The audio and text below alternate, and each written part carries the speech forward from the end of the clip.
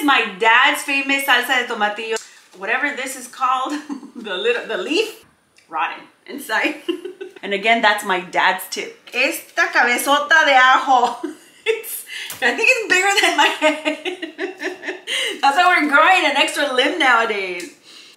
Again, another tip. Okay, where's my chicken bouillon? My chicken bouillon. Let me get my chicken bouillon. Oh my gosh, now I'll go con el chile. Hopefully, you guys hear the baby crying? I just made this salsa de tomatillo that is super spicy con chile de árbol. If you guys want to know how to make it, go check out my video on YouTube. Hit this link.